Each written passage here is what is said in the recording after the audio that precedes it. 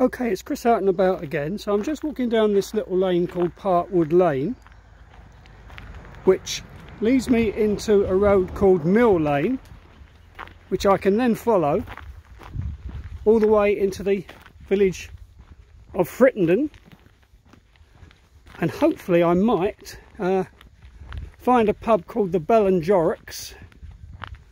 And if I do find a pub called the Bell and Jorrocks, I'll post another update from there but uh, I'm delighted to go down this well more of a track than a lane but it's it's uh, car it's tarmacked. And uh, that's where I've come from so and there's a one of these very muddy looking uh, pond or there's a ditch that follows this road and it's quite wide. So anyway that's the end of this short video update. Bye for now